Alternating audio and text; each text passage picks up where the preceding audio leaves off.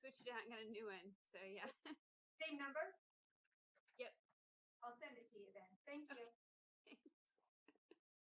All right, and it appears we've at least got everybody on by audio, and we could start with a roll call.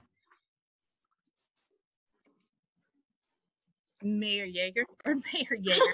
Steven? It's been a while. It has been. So sorry. So yeah, the Mayor Seaman is here. Councilmember Castellano, Here. Councilmember Messner, Here, that was funny. Councilmember Arroyo. Here. Councilmember Allison, I'm here. Councilmember Bergel. Here. All right, and now if everybody would please join me for the Pledge of Allegiance, And I do have the, the flag. I also happen to be in my office, so I could just use the one in the oh. background if I wanted to. Either way, okay. I've got it right here. And all right. there we go. I'll do like in kindergarten. Ready, begin. I pledge allegiance to the flag of the United States of America and to the republic for which it stands, one nation, under God, indivisible, with liberty and justice for all.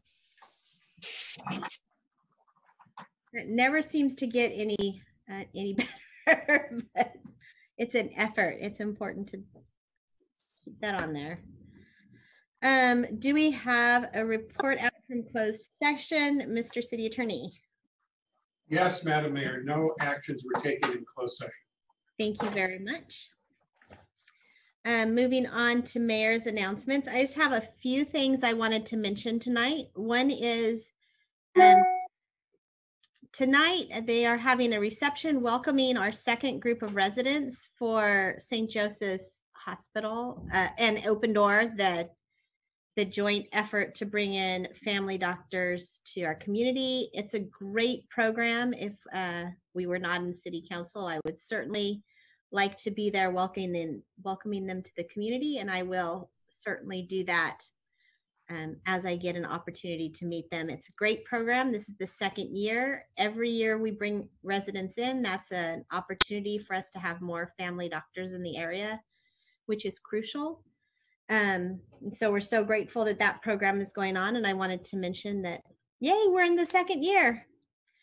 Uh, the second thing I wanted to mention was I talked a bit about some family childcare grants that Humboldt Area Foundation and First Five put together to encourage um, to support childcare providers through this difficult time. And it's mostly about recovery and after COVID is over, making sure that our family childcare providers are sustained in a way so that we have them as we begin the recovery process. So um, today, as of today, they have made 51 grants to childcare providers um, who now have some additional financial support um, where they might not have have um, kids paying or parents paying for their kids to be there.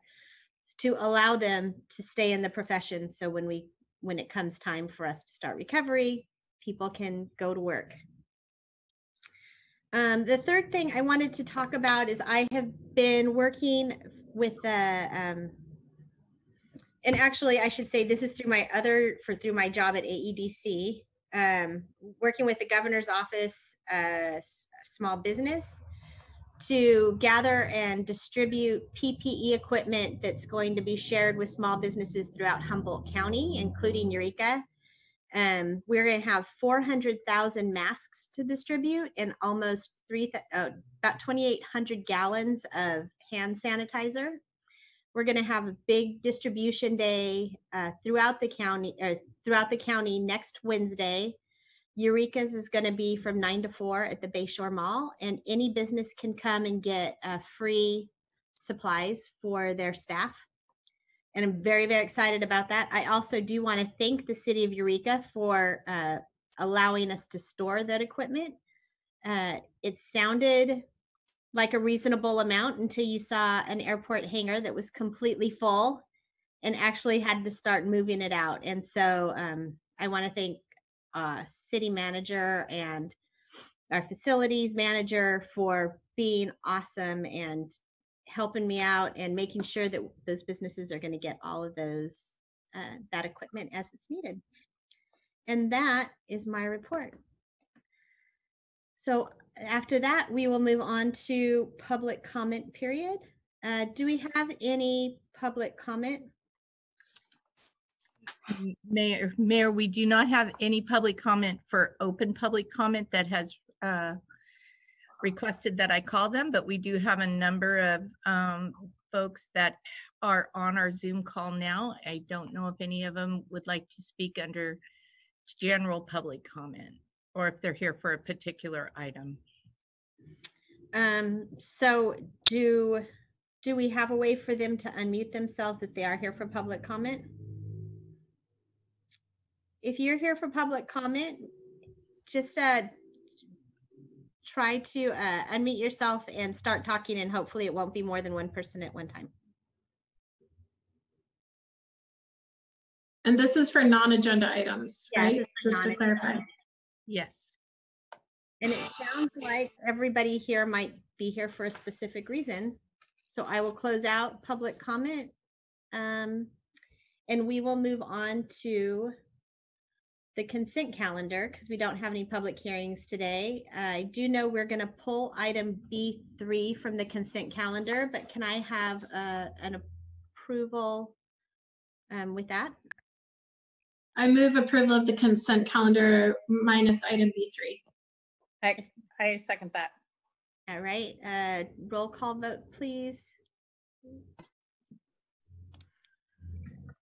Councilmember Castellano, Aye. Councilmember Messner, Aye. Councilmember Arroyo, Aye. Councilmember Allison, Yes. Councilmember Bergel.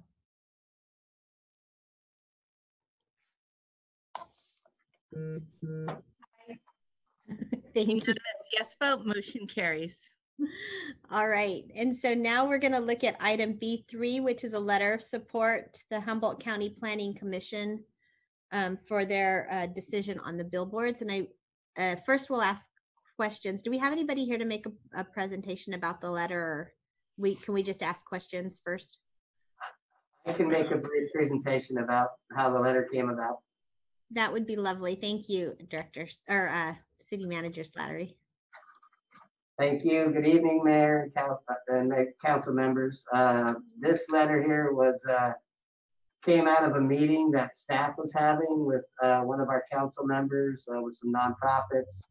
Um, At the end of that meeting, um, there was a request to see if our council would support um, writing a letter to the Board of Supervisor to support the Humboldt County Planning Commission's decision to not allow a uh, reinstallation of a billboard that was damaged during a storm last year.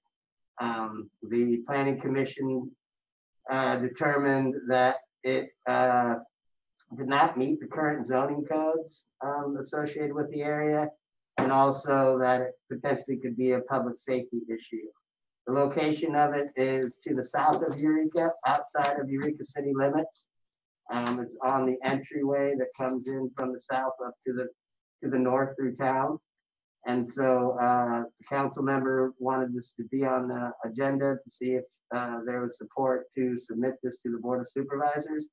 And so, um, that's where we got with today and, um, it's up for the council's consideration. Thank you very much. So did we, anybody from council have any questions about this? Seeing none, um. Oh, I do. question or- Surprise. A question, right? Okay. Yes.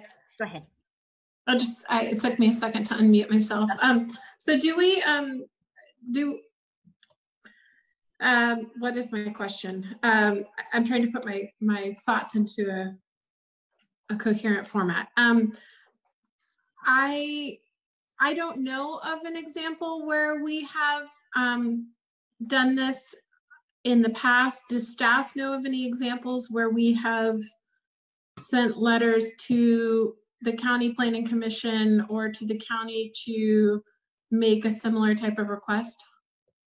Um, I'm not, I couldn't give you specifics, but I, I'm, I, I'm sure that we have, um, put in either a letter of support or, um, opinion. I mean, obviously, we've done letters of support for grants and those type of things that they may be going after or other types of programming. But, you know, council has in the past, uh, I believe it was the, the gas pipeline in, in the Dakotas, that there was a submit, a, a letter of support for that specific to the planning commission, it, it, I mean, specific to the board of supervisors, exactly like this. I'm not aware of a specific case, but, uh, council has sent letters to the county, either encouraging legislation or encouraging, uh, support of a grant or, or those type of things. Okay, yeah, I was just not sure if we have, um, at least in my memory, I couldn't remember us doing something in this kind of context. I could remember grant support and then items like, um, support for projects that we serve on the Joint Powers Authority, uh, for that kind of thing. Um, but I, I just wondered if staff had any examples of similar actions that we've taken. But, uh, I think that's it. That's all I have. All right. Any other questions? I know we have some public comment on this. All right, uh, City Clerk Powell, do we have a phone call comments? Um, yes, I have a phone call to make and then Mr. Wills, Jeff Wills is also on the Zoom call, but he asked me to call him too. But I'm going to start with a Mr. Jeff Slack and I'll be making that call now. Uh, While you, okay. Okay, do you want to? I We was can- wondering if we should ask Mr. Wills if he wants to talk while you're making that call. and you Perfect. Have him hold. Uh, he looks like he's unmuted himself, so. we- Yeah, I'll let Ready? Jeff Black Ready go to go. first. But since I was able to join, you don't have to call me. I can just talk here. Okay, But we'll let uh, my attorney Jeff Slack speak first. Oh, okay. So then we'll wait for him.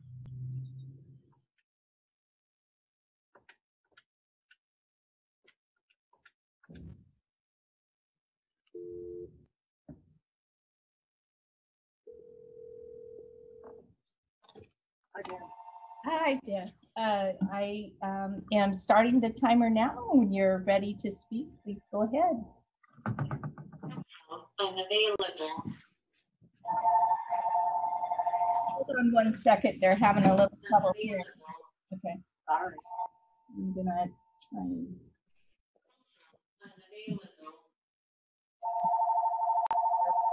All right, uh, see, please go ahead now. All right, thank you.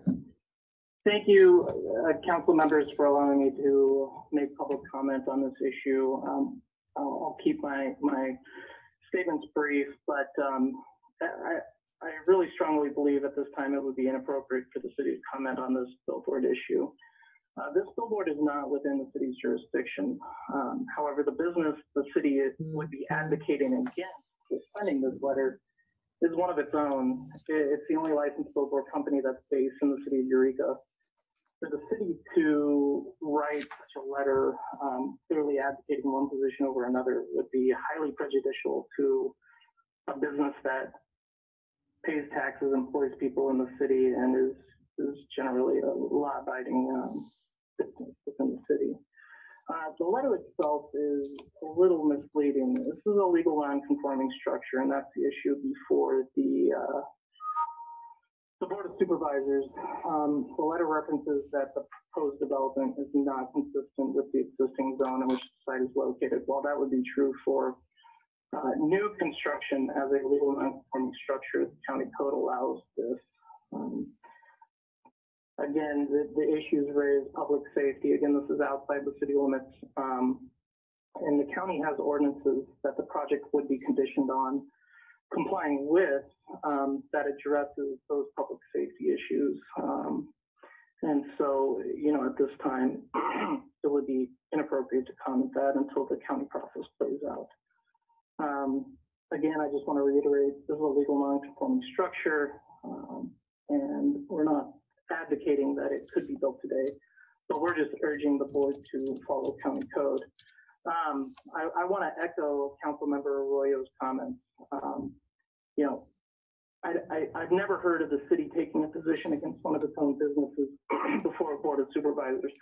I understand if the city was advocating for grant money or something like that, but in this case, it's, it's advocating over one of its own businesses to a, a separate jurisdiction. And and I just, I, I don't know what precedent that would set for, um, the city moving forward.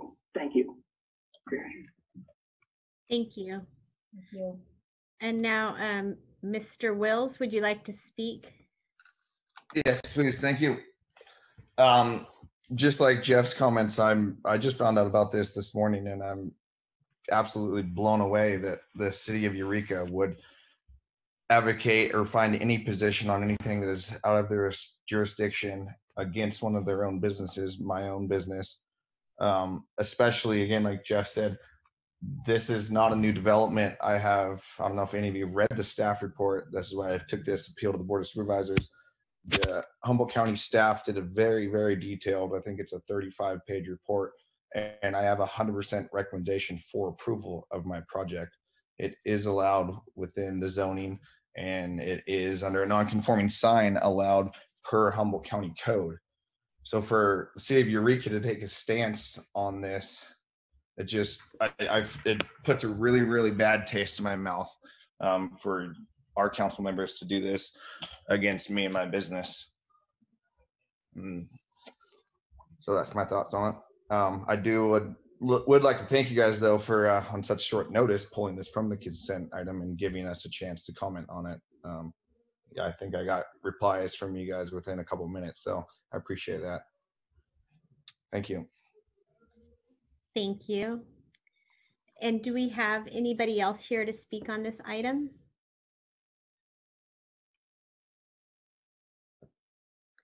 Um, seeing none, then I will uh, go ahead and bring it back for comments. Does anybody on the board or council have, Council Member Messner? Yeah, I, I actually did have some concerns about this and, and uh, the same reasons that have been brought up. Um, it is someone within our own city, yet the sign is outside of our jurisdiction.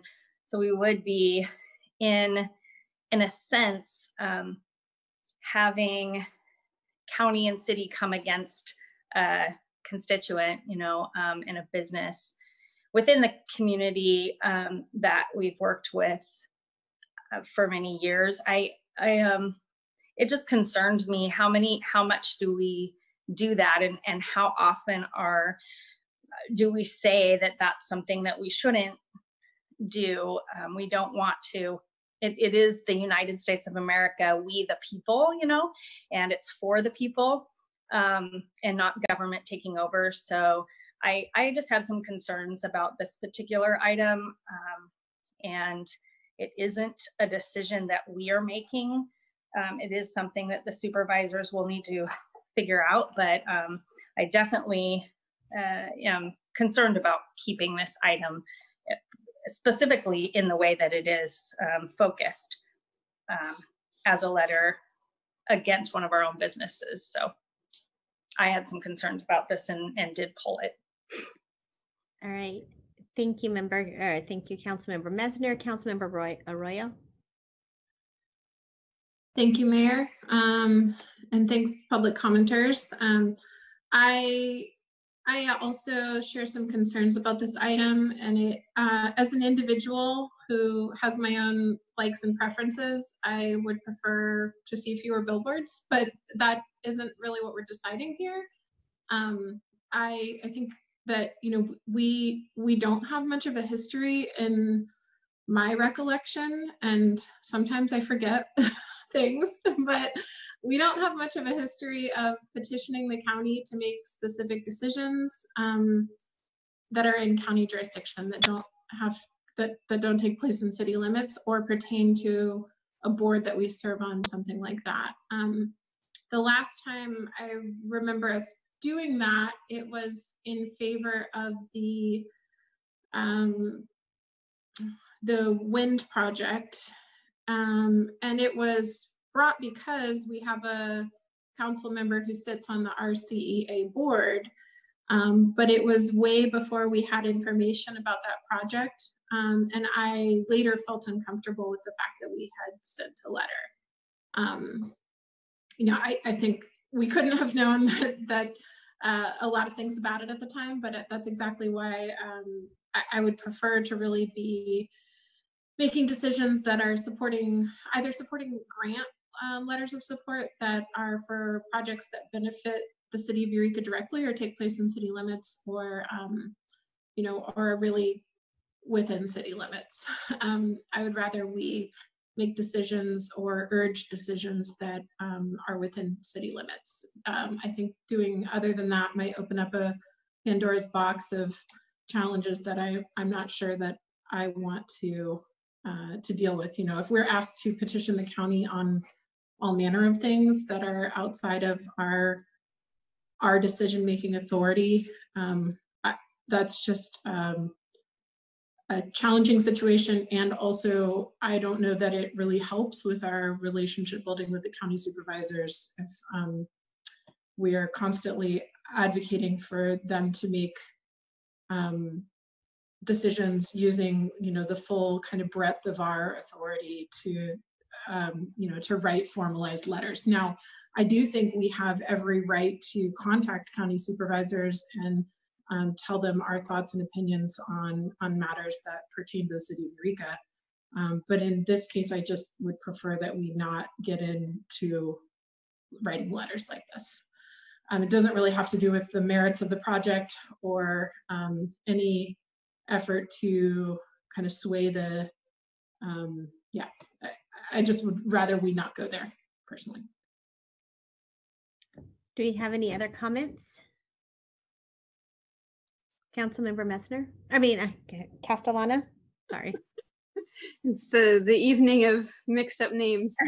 Um, I let's see. I definitely understand uh, Councilmember Messner and Councilmember Arroyo's concerns. Um, I do serve as a member of organizations that um, have contacted me with concerns about the billboard. Um, and so, you know, for that reason, um, I do feel that though it's not within Eureka proper, it, it does affect um, things that we are, you know, and, and as a member of these organizations that I'm seriously working on um, uh, to, to advocate for beautification and, you know, and really looking at that southern entrance to Eureka, you know, um, this, the letter does not mention a business at all. And I definitely am not opposed to, you know, that businesses well-being in our community, but I do, um, you know, I, I do feel a responsibility to conti- continue to advocate for um, improvements that, you know, affect our whole community.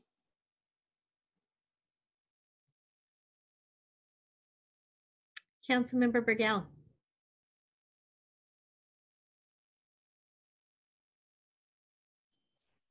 relying on our city manager here. I would say that um, in hearing both sides, I have already personally reached out to my supervisor and given my opinion. Um, and I, I really, um, I don't know if this is the, the, the thing that I, uh, I don't know. I just feel like I don't know what I'm going to say. I feel like that I really as a personal opinion don't really i don't really care for billboards at all. I think that they're unattractive and they um, they are a distraction when driving. Um, sometimes they can be okay. But as a city i think that um, it might be better to advocate on a personal level as opposed to a city level. And i've already done that. Um, everybody is welcome to do that uh, whatever your advocation might be so um, I'll just leave it there. Councilmember Allison, Um, you know, it's like I, I know the owner said this seems like a shock that the city would be doing this, but uh, to to flip the coin on the other side, there's many constituents that I've received correspondence from asking that we make this push and move to um, give an opinion to, to the supervisors about this. So um, in hearing both sides, perhaps um, you know the city of Eureka doesn't have to take uh, take a personal stance, but perhaps we as council members can just write a letter giving our personal opinion to our supervisor. If that's some sort of compromise where we don't uh, have an official stance, but yet we as council members can take a stance because everyone has opinions about things, especially if it has to do with uh, aesthetics, which is a highly subjective topic. Um, like, you know, why there's an agenda item about this. So maybe, um, you know, I don't know if I'm making a motion here, but we can sort of, I can move that we dismiss this letter and instead take it up as council members to to give our opinion to the supervisors if that's a satisfactory motion for other council members. Well, we'll see if we have a second. Do we have a second on that particular motion? Can, is that you, Kim, saying yes? Is that, I believe Kim, uh, Councilmember Bergel has made a second. I'm relying on our city manager. I apologize. Yeah, I'll second that. So we have a motion, we have a second. Do we have any further discussion on the motion? Uh, Councilmember Messner? Uh, so um, I've already talked with the supervisors, so I'm not sure if this um, motion is requiring each one of the council members to write a letter to each of the supervisors, because that's kind of what it sounds like to me, which is a little bit um, odd, actually, I think. Optional. Oh, okay. Yeah, okay.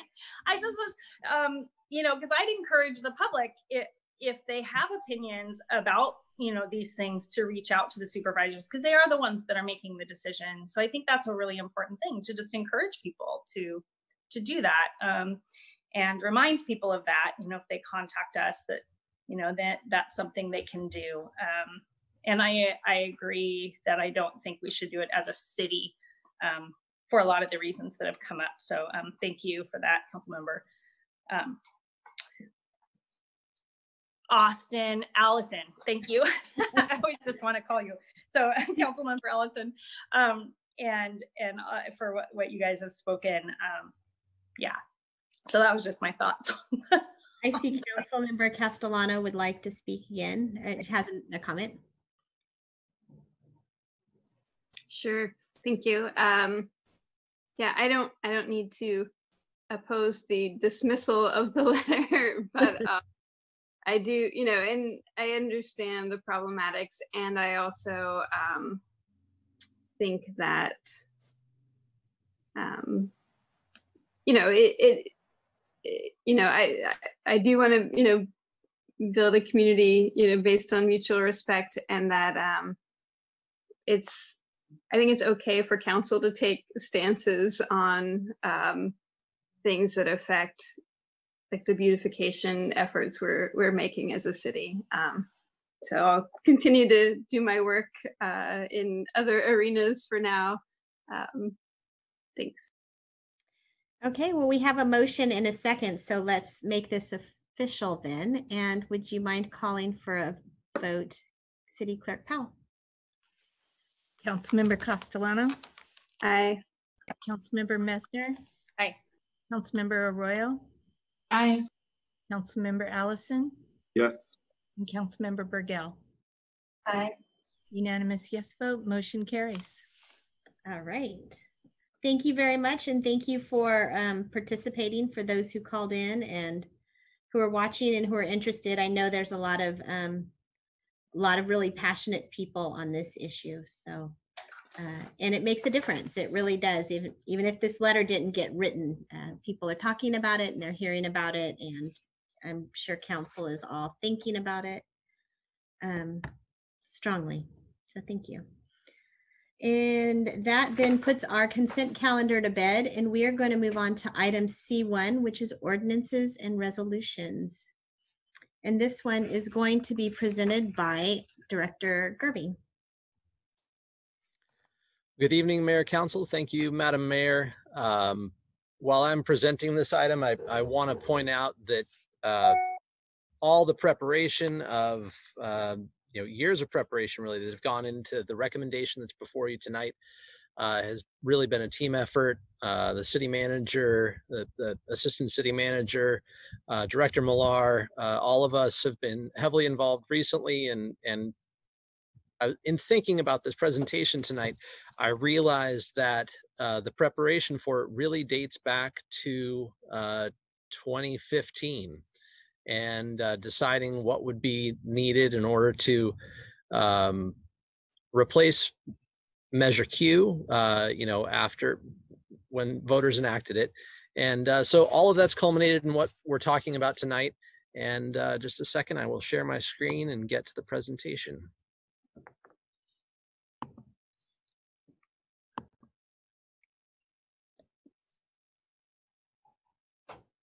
Okay, Madam Mayor, can you see my presentation here? I can indeed. Thank you. Great. Okay, so what we're talking about this evening is the supplemental transaction and use tax or STUT ballot measure. Uh, we do not have a measure identifier yet. Uh, but if the council moves forward with this one, then we'll have that uh, information before too long here. Now I just need to figure out why it's not, there we go, why it's not advancing. Just a little bit of background. Um, where do the revenues for the general fund come from? You've seen a lot uh, this year about the revenue and expenditure situation that we're facing in the general fund, as well as all the other city funds. But for the general fund in particular, uh, the majority of it, 78%, comes from taxes, with about 58% coming up coming from sales tax. And that sales tax, 58%, uh, is made up of three components. There's the 1% from Ba- Bradley Burns, the quarter cent from Measure D, and the half cent from Measure Q, which is really what we're focusing on tonight. Uh, the discussion of what to do with Measure Q going away and uh, how best to move forward to ensure the financial security of the city.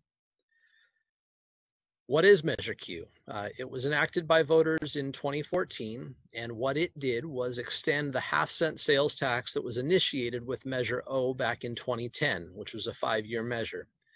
Um, Measure Q is also a five-year measure. Uh, it received a yes vote back in 2014 of 66.61%.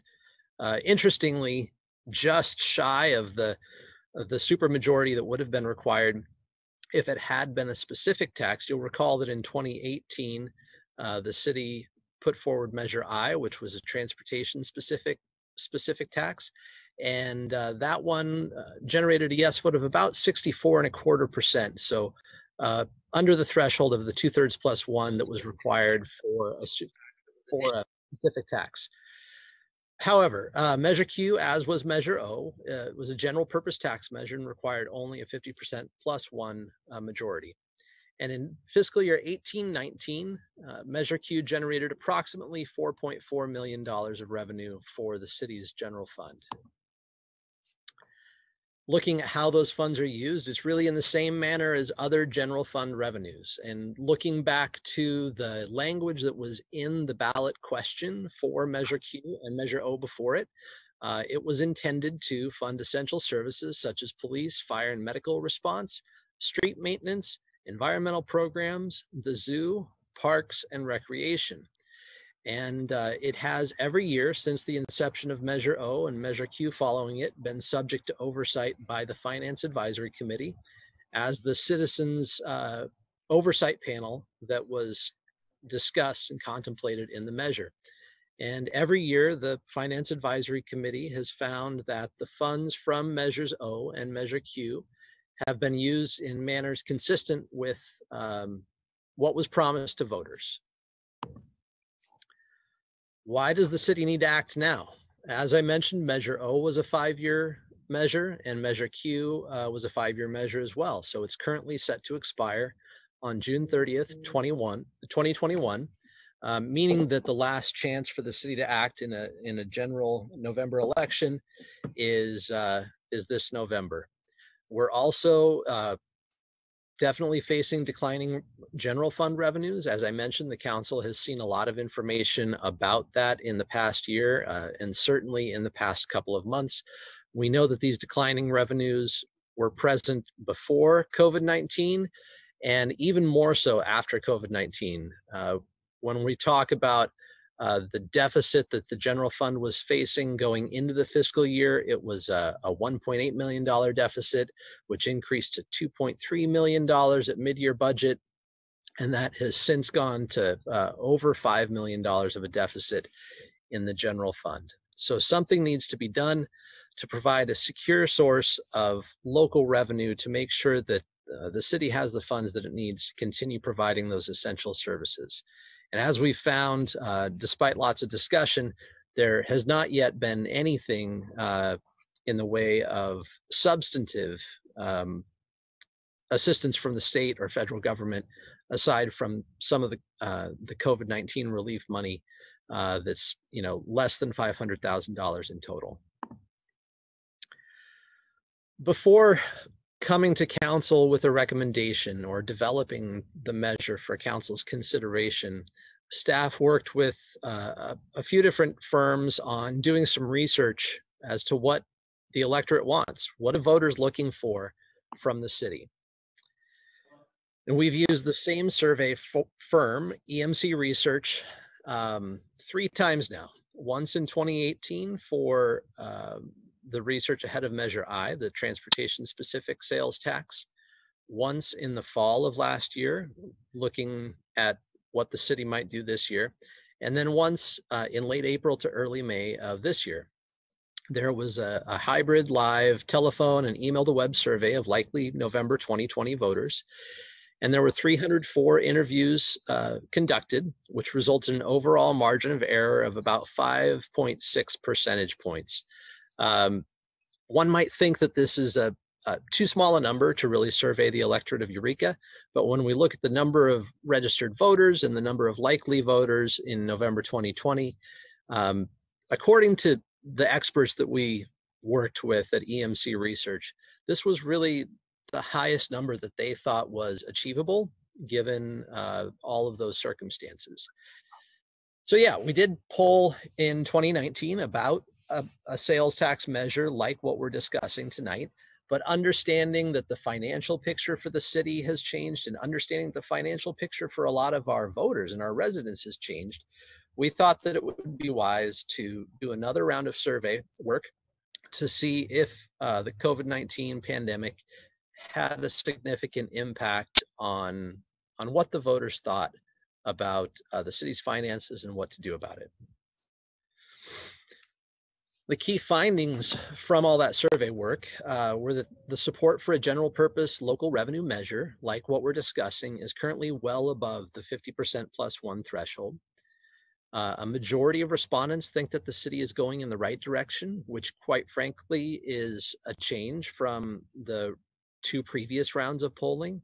Uh, in 2018, we saw that a majority of people thought that the city was on the wrong track in 2019, the picture was better and it was about an even split between those that thought we were on the right track or in the or on the wrong one.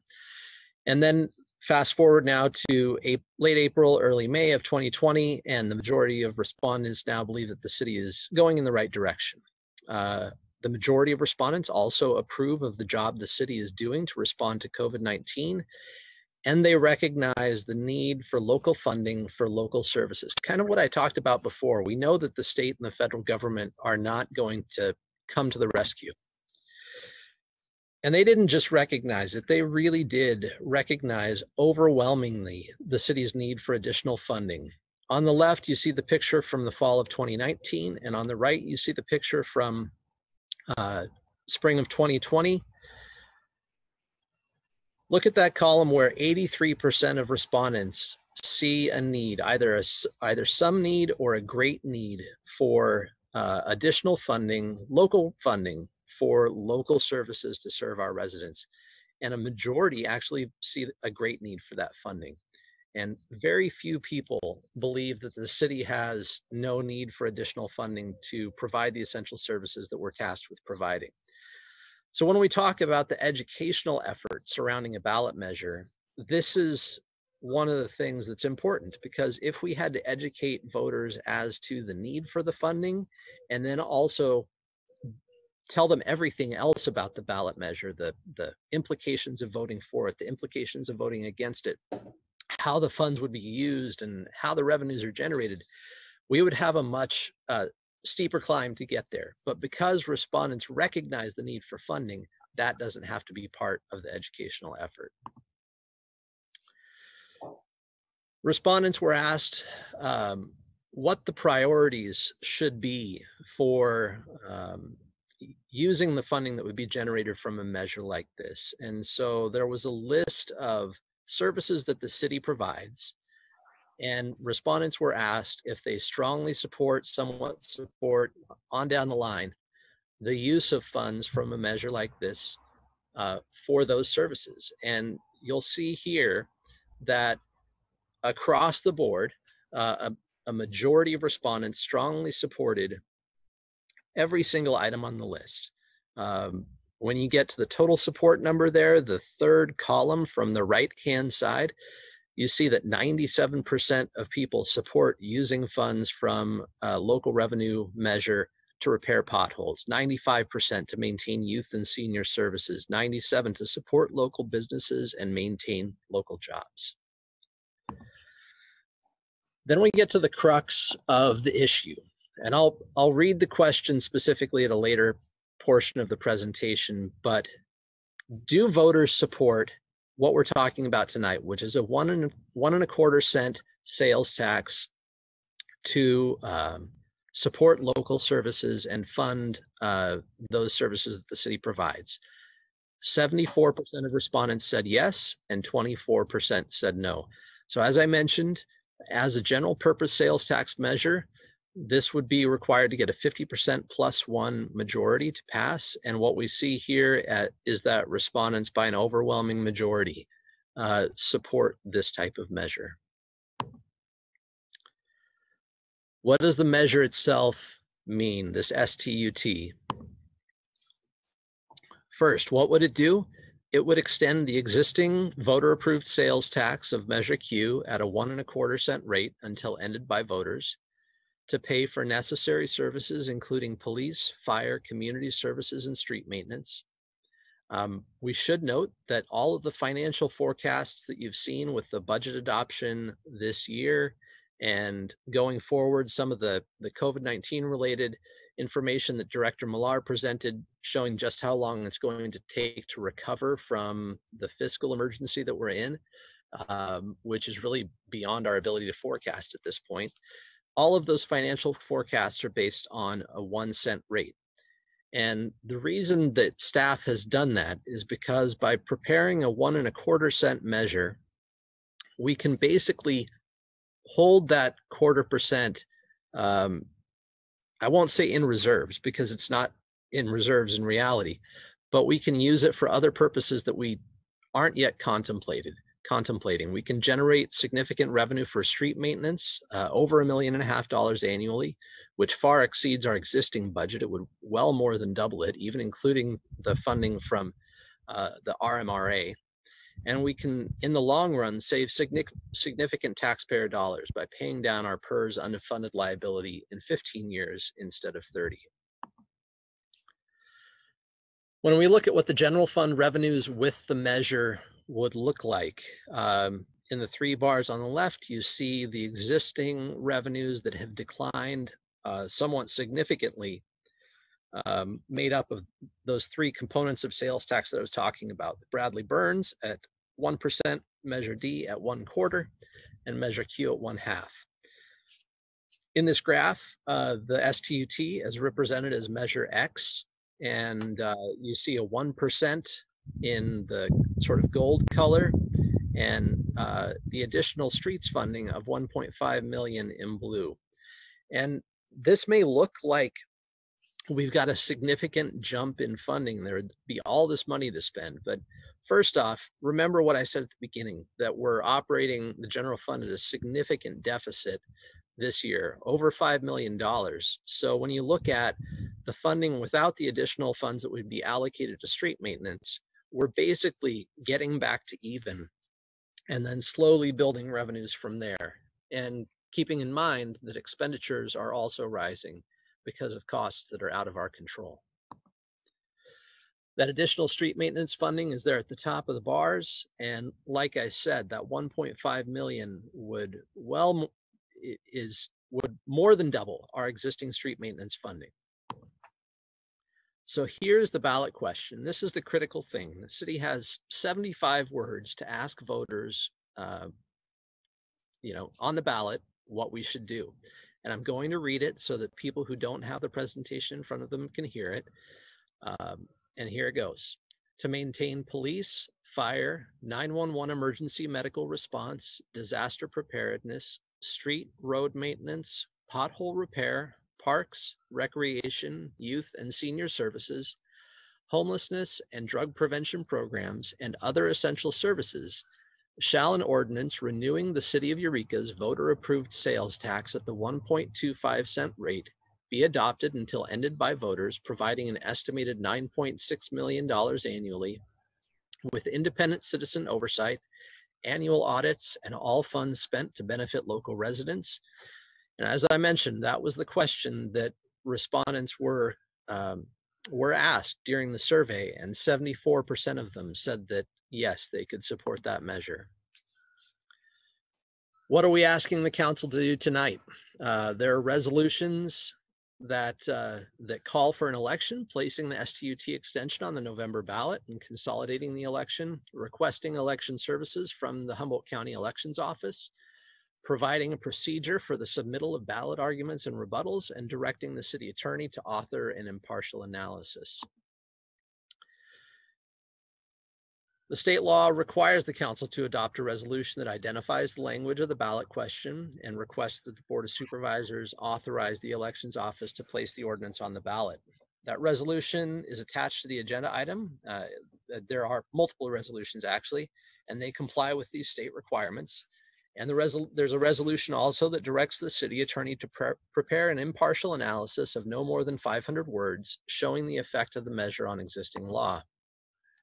When it comes to ballot arguments and rebuttal arguments, uh, arguments for and against the measure uh, have to be no more than 300 words and they must be submitted to the city clerk by 5 p.m. on August 4th, 2020. Rebuttal arguments of no more than 250 words each must be submitted no later than 10 days after. And of course, if there's no argument in opposition, then there won't be a rebuttal to that argument.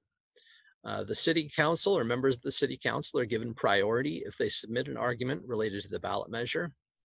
And staff uh, has put forward the resolution that authorizes the mayor to coordinate with other community members to submit the argument for the STUT and any rebuttal if necessary. So with that, you've got staff's recommendation here in front of you. It's in the agenda summary as well. I'll probably stop sharing my screen so that you can, um, you'll have to refer to that agenda summary. And of course, if you want me to pop this back up, I can do so. Whoever uh, reads this, uh, I think gets a gold star because it's probably one of the longer recommendations we've had in quite some time. And um, with that, I'll stop sharing. And if you've got questions, which I'm sure you do, I can try to answer some. And the whole team that I talked about is here and available for uh, portions that I'm not as familiar with. All right, it looks like Council Member Allison's super excited to ask a question. I have two questions. Uh, first one, um, I want to talk about things that are taxable. So, if I'm aware uh, correctly, like things like groceries are not taxable, like food items from you know Safeway, Costco, things like that. Right, there, there are exemptions listed in ordinance. Um, Correct, we don't pay tax on food at the grocery store, for instance. We do when we go out to eat at a restaurant. Um, you know, just to be completely transparent about it. Uh, prescription drugs or not. The, the question often comes up about vehicles and would this measure have a negative impact on car dealers in Eureka, for instance?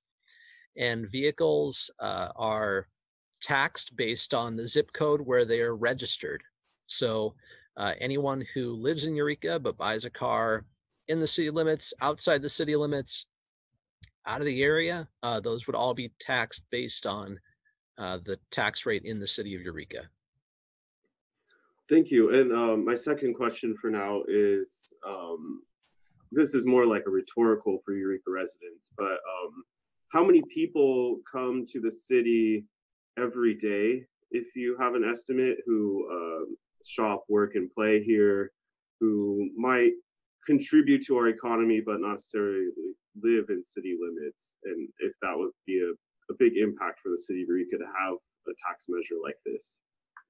Absolutely. Um, we have estimated the number before as to what percentage of the sales tax in Eureka comes from residents outside the city limits. And that estimate is 50%. We are, as part of the educational effort for this measure, planning on nailing that number down a little more firmly.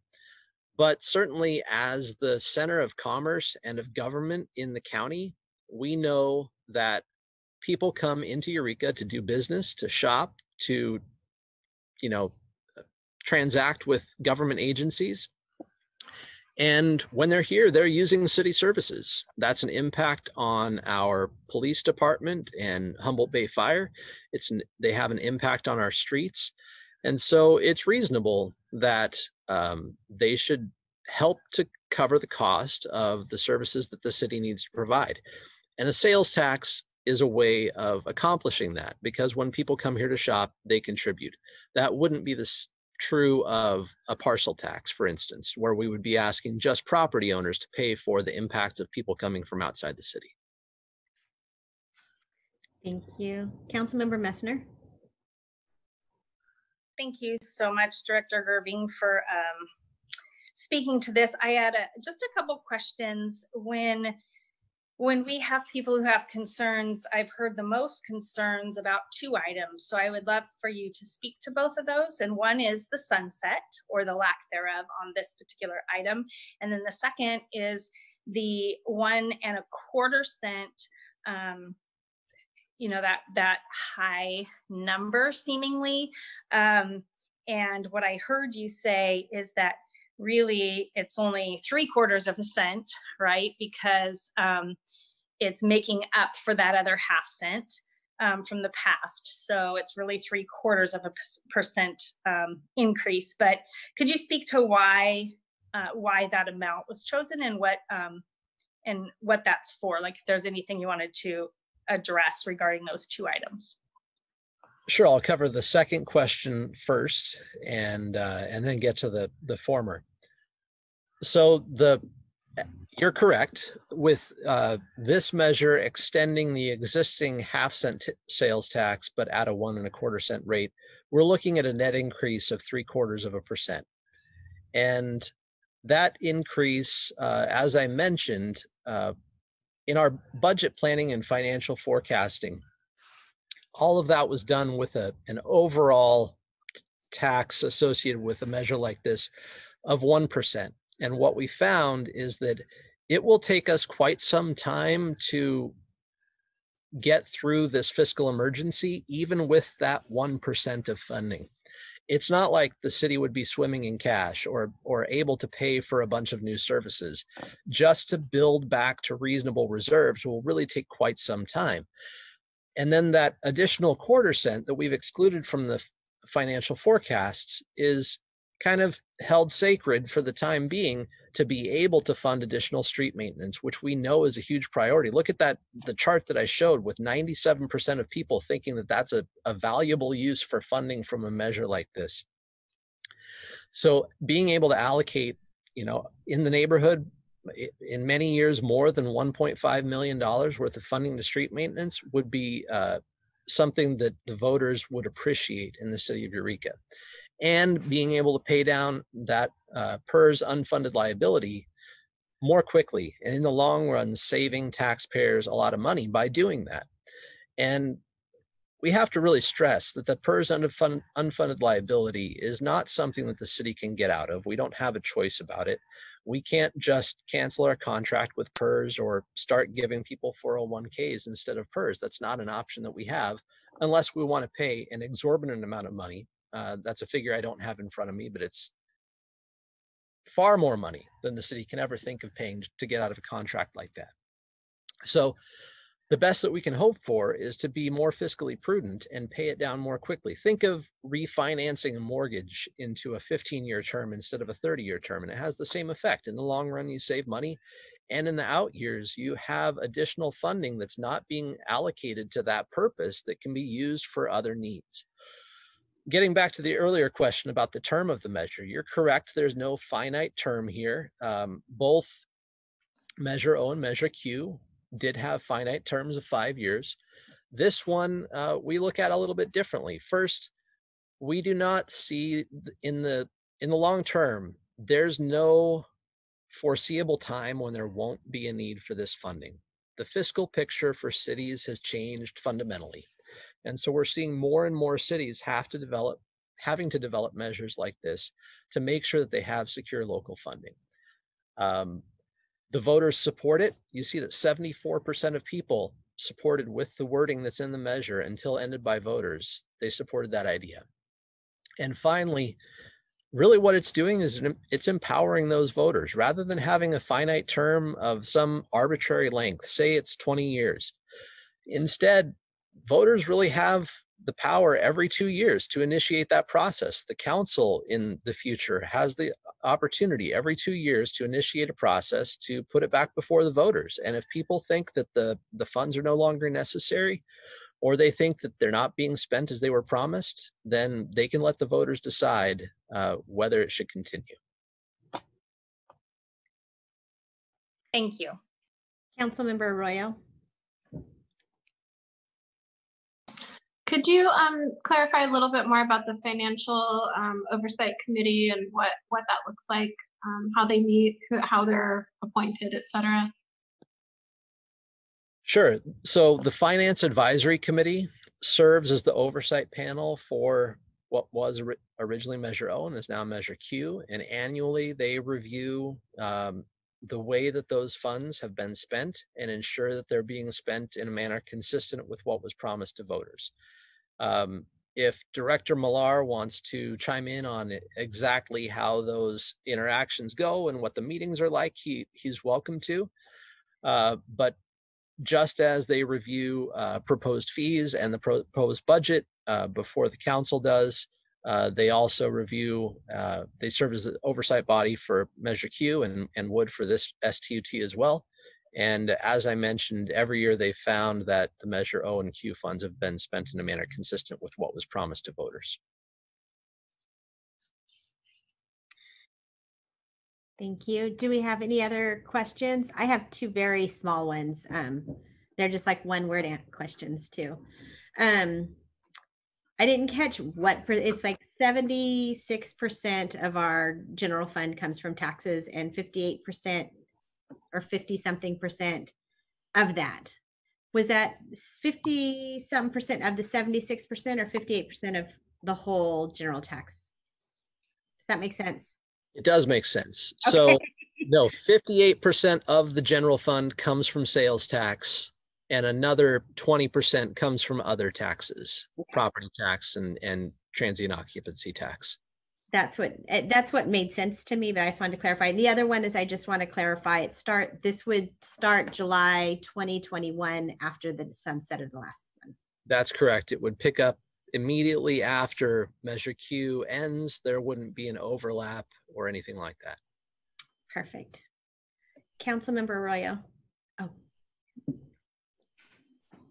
Thanks. I was wondering, uh, I know I don't want you to have to get into like all the nitty gritty of this, but in broad strokes, could you speak to what kinds of revenue sources have declined? I mean, I, I often hear people saying, you know, well, 20, 30 years ago, it seemed like we didn't always have such a tight budget and that there was more money for roads or more money for um, a lot of these services that we provide. Could you speak to kind of why the picture has changed?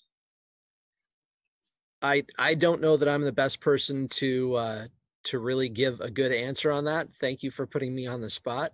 But um, if Director Millar is still in room 207 and he's able to chime in, uh, please do so. Um, I don't, I think that would be a very long conversation to have right now, but I can come back and, um, I think there is research out there about why sales tax uh, just hasn't kept up with, uh, your expenses. You look at, uh, cities around California, so.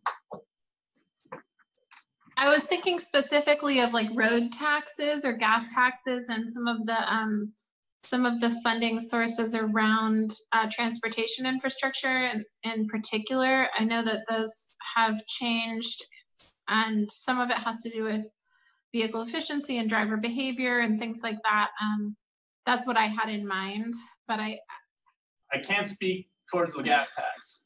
So the Okay. problem with the gas tax is that they did it as a fixed amount. So, you know, over time, things get more expensive, but they decided to put it at, you know, 18 cents or 15 cents. So if you do that, then it doesn't keep up with inflation.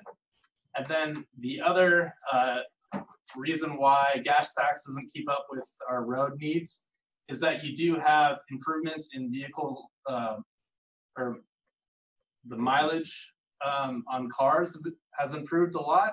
And, you know, when you're getting 50 miles to the gallon, you're paying less in taxes. So those are the, the two main reasons why our gas tax revenue streams do not keep up with the maintenance needs. Okay, thank you. Yeah, I'd be interested in, in hearing kind of at some point why the sales tax picture had changed, but that's what I was thinking of in particular. Sorry for putting you both on the spot. Councilmember Bergel, did I, s- yes, I did see your hand. So I was just hopeful that you could clarify, I get a lot of calls about the roads, I'm sure that we all do. So can you talk a little bit about what the picture will look like when this when this tax is passed as far as um, how quickly road repairs will be happening, um, how that will be delineated, how that will be set up, um, that type of thing. Um, because I've gotten some calls about major, is it Q or O, where that was kind of at the bottom of the, of the, you know, you had the police, fire, and then you had like road repair and parks kind of at the bottom, and there wasn't a lot of money that went there. So uh, I'm curious, um, yeah, if you could just clarify that. Sure. Well, first, uh, I can assure you that uh, I know that the council gets lots of emails and phone calls about roads, and uh, the director of public works does too. So we're all there.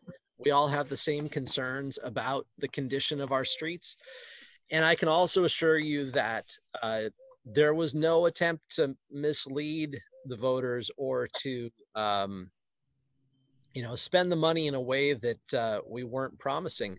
But the fact of the matter is that costs across the board have increased so significantly beyond the revenues that were generated by measures O and Q that there really hasn't been any capacity to to allocate additional general fund dollars to street maintenance. We were thankfully uh, you know, we were lucky enough to receive additional money from the state from SB1 and the RMRA or Road Maintenance and Rehabilitation Account uh, after 2017. That has improved our revenue picture for street maintenance.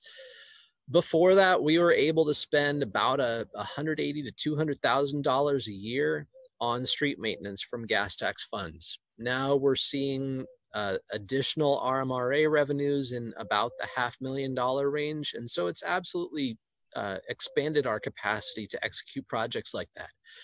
But it's nowhere near what we need. If you'll recall from some of the uh, presentations that the council has seen before about pavement condition index and things like that, the estimated number that we need to just kind of maintain our existing average street condition, you're looking at $2.8 million annually, which is obviously way outside the ballpark of what we can accommodate with uh, the extra quarter cent from this measure uh, that we could allocate largely to street maintenance. As I said, we we could look at a, an additional 1.5 million. So you look at the picture from 2017 and prior with $200,000 a year and you add the 1.5 million from this measure and the half million or so from RMRA, and you're looking at 10 times the street budget that we had uh, before all of this.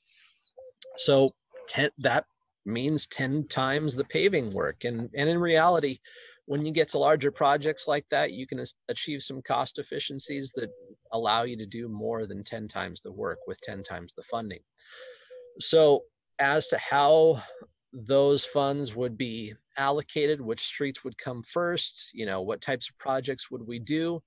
We would really need to analyze that as time goes on. But I can tell you that some of the streets that we have had no capacity to to make any headway with because they're so far degraded that they would require complete con- reconstruction you know that hasn't been an option because we haven't had the funds. And if you're talking about one block of second street in the bridge district for instance might cost $180000 to rehabilitate.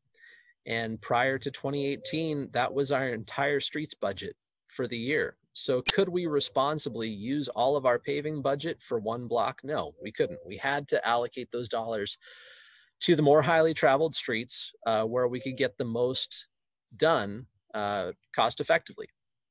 And we've been able to, you know, divert some of those funds more recently to um, areas where we probably couldn't have previously but we're still really having to focus on arterials and collectors, those streets that are more highly traveled. Uh, in the future, we would look to do more neighborhood pavement, pavement preservation projects and try to expand the footprint of what we're accomplishing. And I will remind everybody that next year uh, with the the S the STIP, the State Transportation Improvement Program funds coming to the city after more than a decade of them being promised. We are going to see the paving work we've been talking about for a long time on 14th Street, on Koster Street, uh, Hawthorne, Felt, and Highland. So those are streets that all get a lot of complaints, and we are going to see some action next year on them. So Brian is, I mean, Director Gerving, is it 14th Street on the west side, right? Not on the east side? It's 14th from Broadway to West. So the, the portion that's funded by STIP is not the whole thing, but what we're looking to do is combine our other uh, gas tax and RMRA monies with the STIP money. And so we'll see a rehab of 14th all the way from Broadway uh, to West. And this is one where, because we knew this project was coming several years out, we were able to get in front of it and plan with PG&E well in advance for their uh, gas line rehab work. You see that in the process now on 14th and the pavement marked up all over the place for the work that they're going to be undertaking. So they'll get that work done and then next year we'll come in and pave and they won't be tearing up brand new street. Well, It's nice to see we're working on some of that deferred maintenance. Thank you. Councilmember Castellano. Thank you. Um, will it be possible to get um, kind of regular reports back to council and to the public with how the money's being spent? Um, what kinds of, you know, so I, you know, basically just getting at, I would like for the public to see sort of a clear record and presentation of the improvements and benefits that are happening with the tax. Will that be part of the mes- messaging? certainly for that additional portion of the money that's dedicated to street maintenance, yes, we would be able to do that. When you're talking about um, the rest of the general fund, uh, it becomes a little more difficult. But what we're seeing, and and the city manager, Director Millar can chime in if if they want to add. But basically, like I said, we know that one cent of this tax is what we need just to maintain existing services and that's existing services at the reduced level that we've seen with this budget adoption which has some significant reductions so we're we don't think that there's a high likelihood of um, seeing new services from this funding uh, beyond what we're already providing except in the area of street maintenance Okay, do we have any other questions? I think we might have some public comment on this item. Uh, City Clerk Powell? Uh, yes. We do. They, all of uh, the folks have, who have, will be commenting on this item are um, part of the Zoom call. And um, if you would like me to call them, I can see them in alphabetical order, if that would be helpful to you, Mayor. That would be very helpful to me. Thank you. Alrighty, so I'm gonna go to the list and uh, we can begin. Sorry. Of course, just as I said that now, there it is.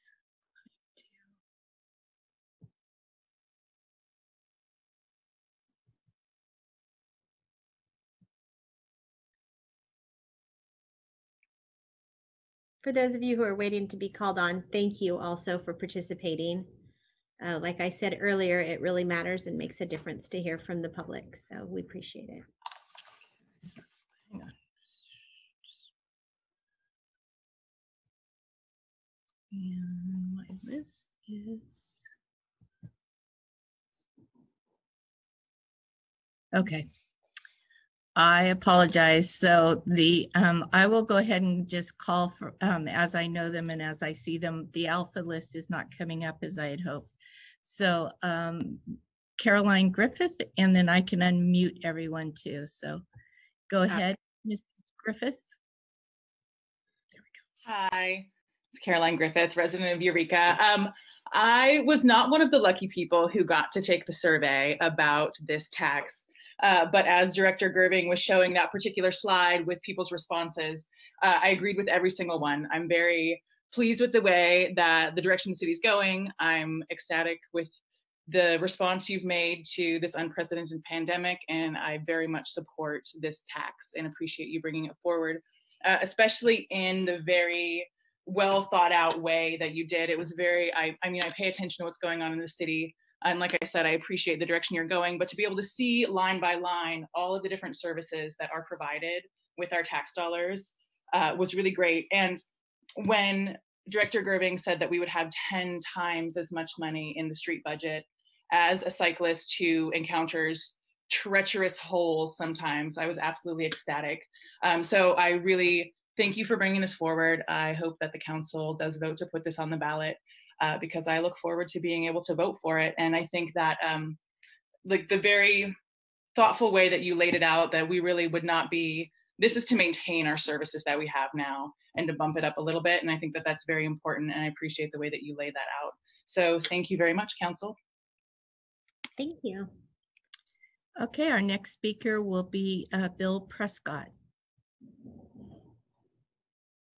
Oh, Unmute him, please. Uh, Hi, uh, this is Bill Prescott, uh, resident of Eureka. I'm the current chairperson of the Eureka Economic Development Commission. Uh, Though the commission's unfortunately been suspended for the time being, looking forward to the commission coming back into uh, action. I'm also the general manager of Lost Coast Communications, uh, a local media company, and I hold a City of Eureka business license for my uh, private consulting firm, Prescott Designs. Um, The proposed one and a quarter sales tax measure is essential to keep our city financially solvent. Um, Various commitments by the city, or various commitments the city has made to both its citizens and its employees must be kept. I strongly recommend uh, educational outreach to the community to explain the dire sales tax situation. Even before COVID, uh, we know the city was running on a deficit. So um, as a local business person, I am strongly in favor of this important sales tax measure. So thank you all. Thank you very much, Mr. Prescott. Our next speaker will be Mr. Neil Patel. Good evening, everyone. Um, as Eureka hotelier, I support this agenda item. Um, while the sales tax increase will increase our cost of supplies and equipment purchases, I think that the ability to fix our roads, improves improve our parks and waterfront area will ultimately help local businesses by providing a better experience for our tourists traveling to the area and hopefully increase future room night stays so that you know the city can get even more future tax revenue. And hopefully this will continue to fund economic development which has had made great strides over the last few years. So again i, I support this agenda item even the, as a local business that will incur higher costs from this but i do see the necessity of fixing our roads and increasing our um, that budget by over 10 times. So I think it'll be helpful. Thank you very much. Uh, Mayor, our next speaker is Mr. Scott Bauer. Oops, you unmuted and muted again. Yeah, I'm not sure what happened. There we go. We got it now? Yeah, we're good. Hey, thank you. Uh, my name is Scott Bauer. I live in the fourth ward. Um, my family and I strongly support this proposed measure. As uh, the, the great presentation that Director Gerving gave, you know, um, there is a great need to fund essential services. Anybody that drives our roads knows we need some we need some work done out there. Um, and I just like to point out for for all of us, you know, it doesn't seem like there's any help coming from the federal or, or state government. Budgets are in disarray, and we have to take care of ourselves in the city. So, um, happy to help in any way to see this initiative get passed, and um, thank you for for bringing it forward. Thank you. Uh, Mayor, speaker is Mr. Scott Pesh.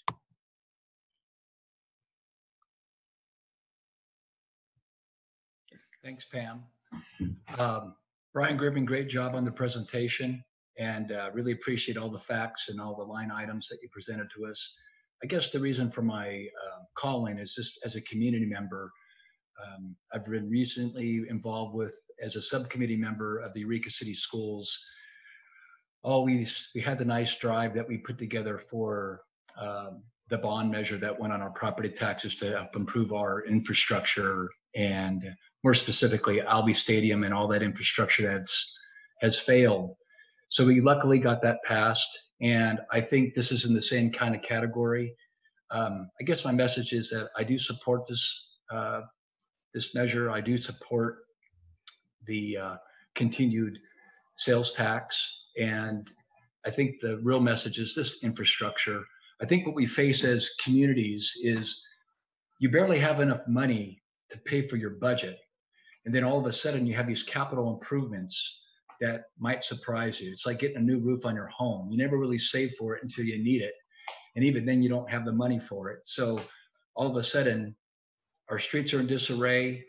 We need to bring those back and just support the general infrastructure. But truly appreciate what all of you are doing, all the council members, the mayor, and um, I'm behind you. Our family's behind you. We really appreciate what you're doing and we support this measure. Thank you. Thank you. Thanks, thanks for your work at the schools. Mayor, our next uh, speaker will be uh, Ms. Michelle McKeon. Hi, Michelle McKeegan. Uh, Good evening, council and, and mayor. Um, I want to say that I too support this. Uh, I- The the loss of the Q funding is just going to be devastating and we have made such progress in recent years in this city and, and, and not just in the big ticket my items like tr- tr- streets and cops and, and fire, but in smaller areas and uh, dealing with the homeless for sure. Uh, but also job training for people who've had difficulty um, knowing even how to apply for jobs, programs for kids that that um, that really need help and and working on our parks, which is a wonderful resource for kids, uh, and the zoo, which is a fabulous resource for uh, families and and kids. Uh, so I all all of that means that we have a city that is um, safer and cleaner and more attractive than than it has ever been. And and um, the research is clear that that is the kind of city that increases uh, economic growth and economic vitality. So I do support this. Thanks. Thank you. Mayor, that is um, the number of speaker, that concludes the number of speakers that I have. Well, that was lovely. We should have these people back every meeting. You guys were fabulous. Councilmember Messner. I um I I first of all just want to also echo what Mayor Seaman said. Thank you so much for speaking to us tonight and expressing um, your support and even previous concerns um, tonight for all of you who are on this call and on this Zoom call, but um, I wanted also to just say a special thank you to the Finance um, Committee. And we do hope that you can get back to work again soon too. So thank you for being on the call as well and for all the work that you have done to bring this um, to, to that you've done actually over these years. But um, I'm going to attempt to make this recommendation and go ahead and uh, I'll just read through it. So um, I believe, well, first I want to say I believe this is actually a long time in coming and it is greatly needed. Our streets need it. Our COVID 19 recovery needs it. Our constituents need it. And I think it's it's in a way doubling doubling our money by bringing in money from the outside. So I, I just think it's really important. So um, I will go ahead and waive reading, read by title only, and introduce bill number 982-CS, an ordinance of the city of Eureka, amending chapter 35 of the Eureka Municipal Code relating to supplemental transactions and use tax to be administered by the California Department of Tax and Fee Administration and adopt a resolution of the City Council calling and giving notice of the holding of a general municipal election to be held on Tuesday, November 3rd, 2020, for the submission to the voters of a ballot measure relating to a supplemental transaction and use tax extension and a resolution of the City Council requesting the Board of Supervisors of the County of Humboldt to consolidate the general municipal election for a ballot measure to be held on Tuesday, November 3rd, 2020, with a statewide general election to be held on that date, and a resolution of the City Council setting priorities for filling written arguments regarding a city ballot measure and directing the city attorney to prepare an impartial analysis and a resolution of the City Council provided providing for the um, filing of rebuttal arguments for city measures submitted at municipal elections. Right. Do I have a Yeah. second? Councilmember Castellano, oh, and sorry, I saw Councilmember Castellano first, so. I'll second the motion. You win. Do we have any, do we have any discussion about that very lengthy motion? All right. I, I just had one thing. Uh-huh. Um, I just want to thank staff also um, and echo that, that appreciation for putting this together and um, doing such thorough research. And um, that was a really uh, lovely and helpful presentation. And I look forward to um, helping with the community outreach for this. And I, um, I hope that others will do that too. Um, I'm ready to go talk to people at their doors. So let's And do this I- thing. I was thinking maybe we could have little Zoom parties, little neighborhood parties where we could. Oh, right. I'm not supposed to go to people's doors. I forgot. know, I was really ready. I was ready to go knock on doors. So however we could get that message out, if you have people who want to talk to us, let us know. I also would like to clarify, uh, Councilmember Messner, it's the, not the Finance Committee, it's the Economic Development Commission that Okay. serve on. And- And, and um, actually putting signs out would be helpful, I think, to the community members. If you guys, I know will have signs and um, so that can be helpful because people do still drive to the city even if you can't knock on doors. So that is one way. So we're all ready to uh, support this, I think. Well, let's see. Let's take a vote and see if we're all ready to support this. I guess I shouldn't speak until, I know, Councilmember Castellano? Oh, just a quick comment. I'm I am also uh, ready to support this, um, and you know, happy to and, and excited to sort galvanize uh, support in the community.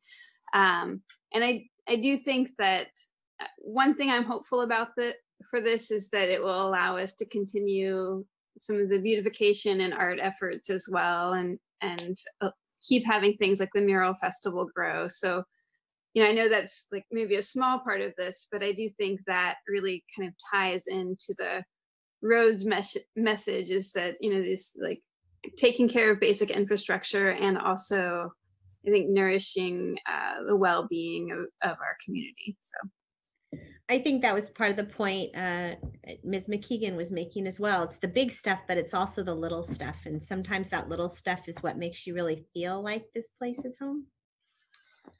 Um, Can I I- just add one note, Madam Mayor? Um, Yes, just. I, I don't want to take away from, from what you said, Councilmember Castellano, but I, I do want to note just um, if, in in case anyone's wondering, um, whether we spend city dollars on the, um, mural festival, it's actually all privately funded. So just so people, uh, you know, I realize there's a lot surrounding, um, that, the neighborhoods and a lot of beautification that can happen in art efforts as well, but, um, just want, since that's right around the corner, I've been trying to share with people that it's all, um, privately funded. Yeah, I, I sorry, I wasn't trying to say that we were funding the mural festival, but that we would have funds to support endeavors like that. And yeah, and I think I'm excited about it coming up too. Great. All right, City Clerk Powell, can we have a vote, please? Yes, Councilmember Castellano. Aye. Councilmember Messner, Aye. Councilmember Arroyo, Aye. Councilmember Allison, Yes. Councilmember Bergel. Aye. Aye. Unanimous yes vote, motion carries. Excellent. And now we are going to move on to the next item on our agenda. I flipped my pages around, so I have to look. It is the reports and action items, and now we get to hear our city diversity plan update, and I, that would be Director Folger.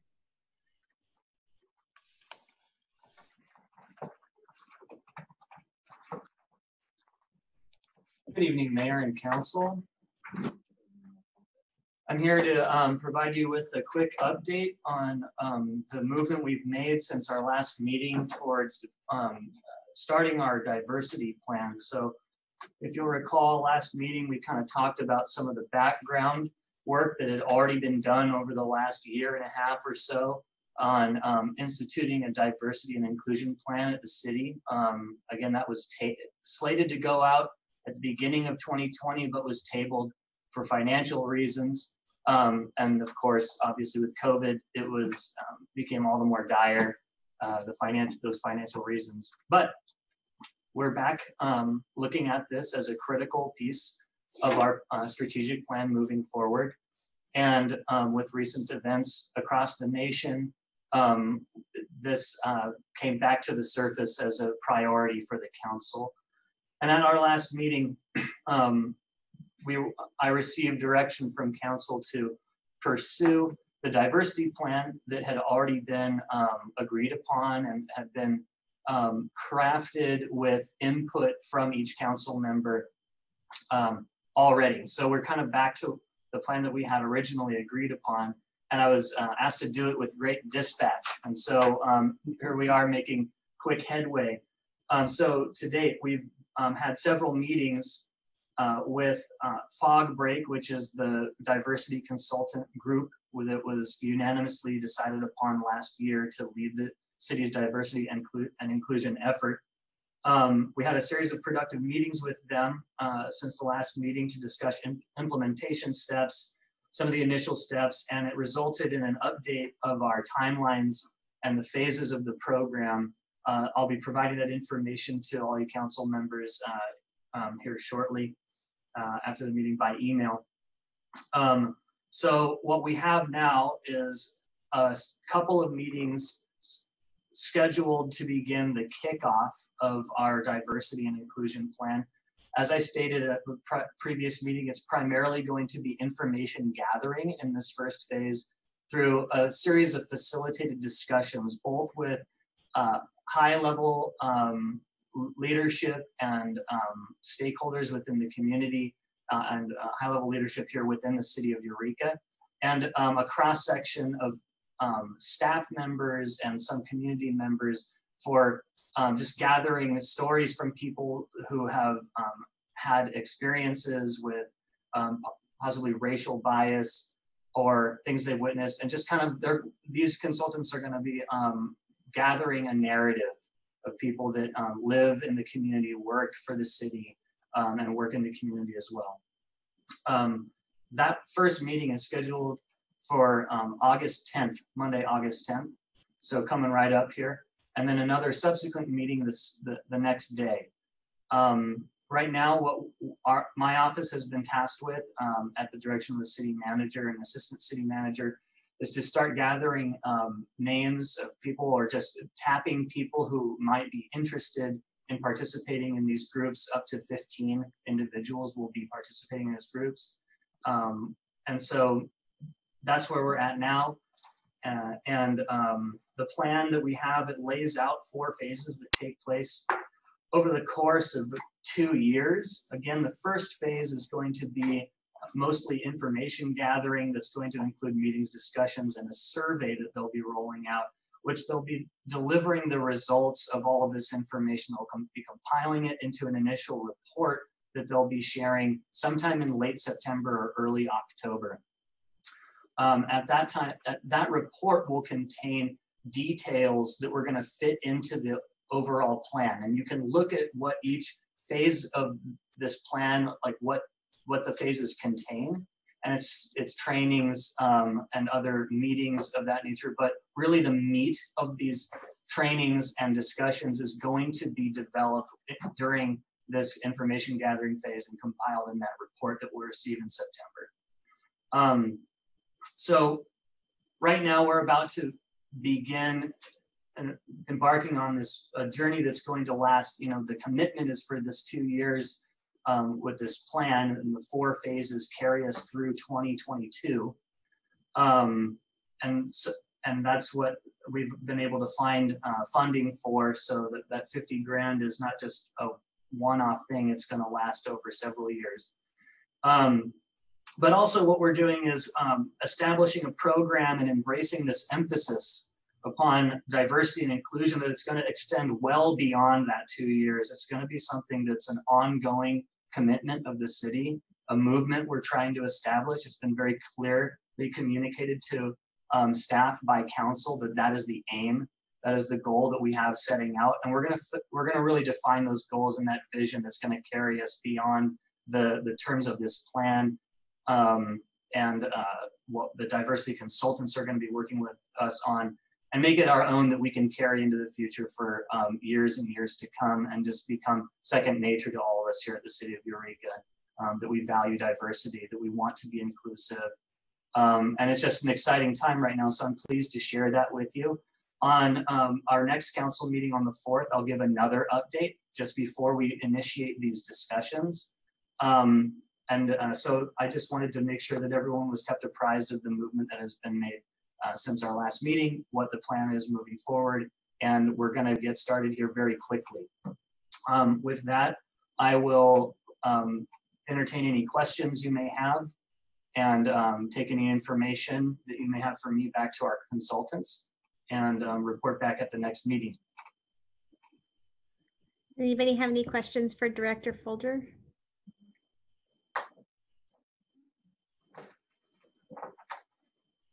Anybody have any comments?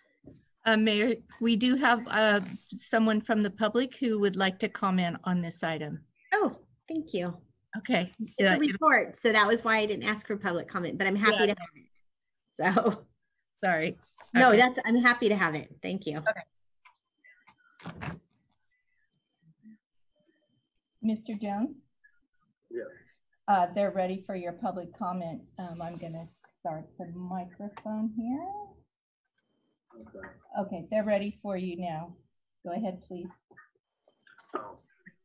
Yes. Yes, thank you, and um, thank you, council. Let me pause this. I wasn't able to get in on as early as I wanted to, and I apologize about that. And uh, thank you very much for letting me speak. I, once again, I want to thank everyone for this entire process and, and being mindful of the minority community. And uh, like I said before, when I was at the last meeting, I would just like to put myself forward to help in any way possible. I wasn't able to hear the whole explanation, which hopefully I can um, get more information next time now that I know how to get into the board meeting this way. So I do apologize. Um, but as for the inclusion, um, how do you even are going to attempt to actually bring people into this program?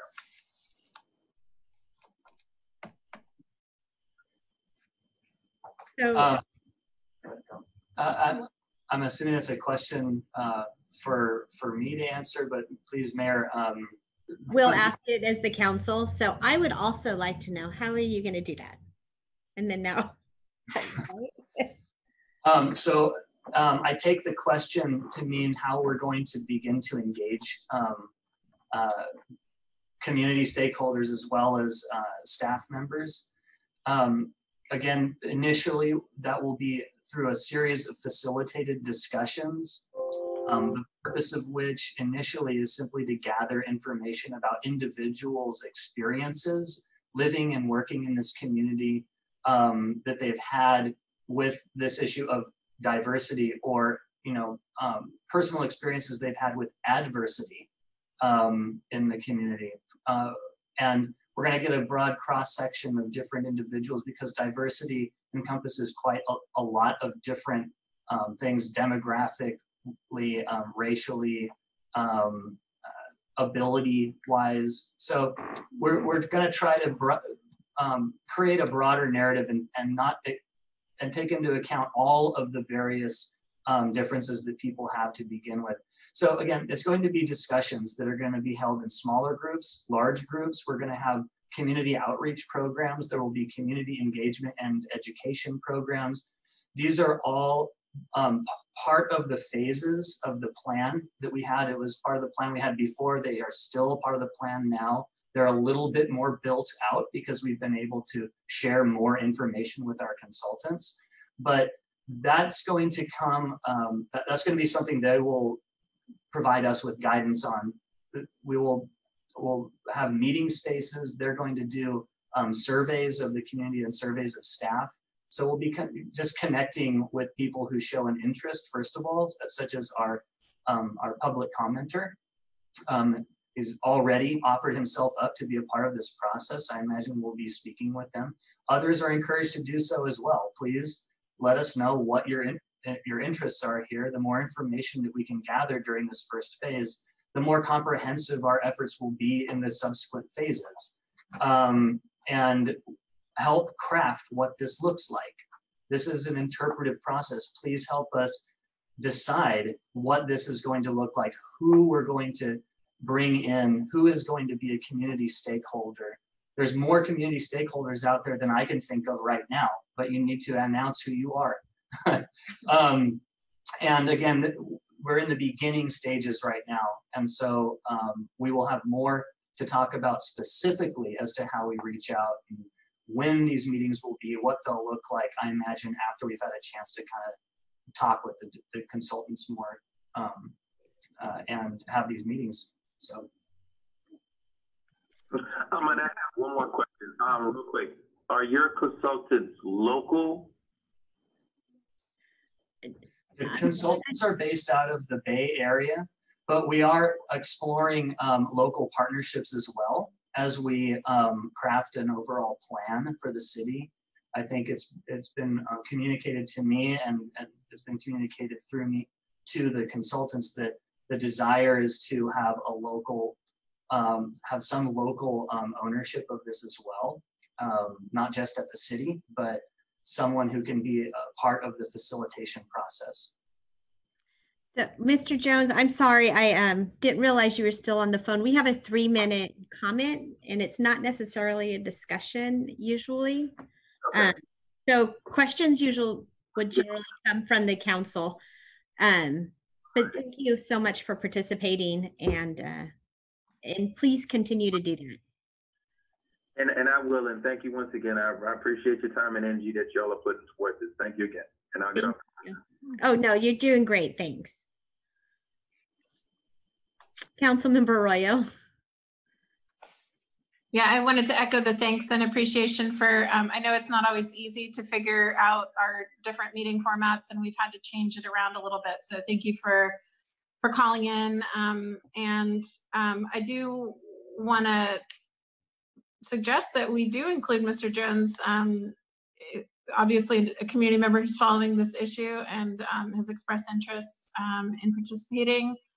Um, and I also, you know, I know it's right around the corner and we want to ensure that of the small group that meets that we do hear from quite a few different voices. Um, and I guess I'd, I'd just like to suggest that we invite um, people who identify as people of color to kind of step forward and come to the front, or that we nominate folks who have reached out to us already um, and had an interest in working together to improve, you know, outcomes for their communities um, here in Eureka.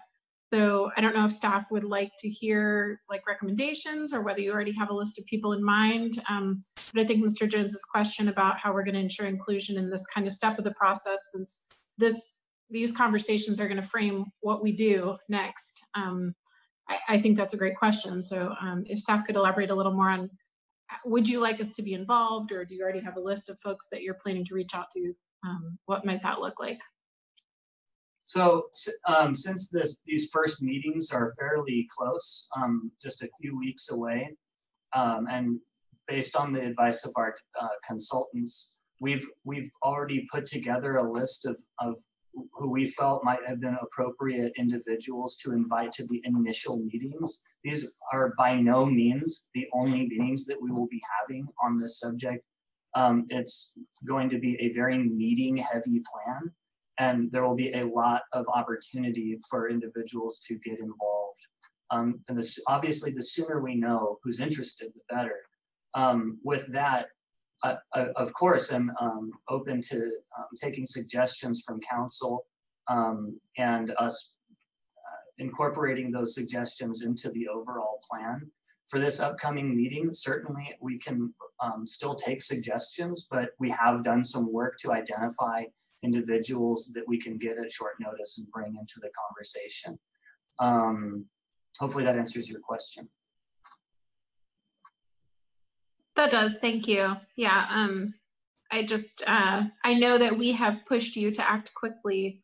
Um, and I also want to be sure that um, as we move forward, people feel like they know what's going on and they know how they might weigh in.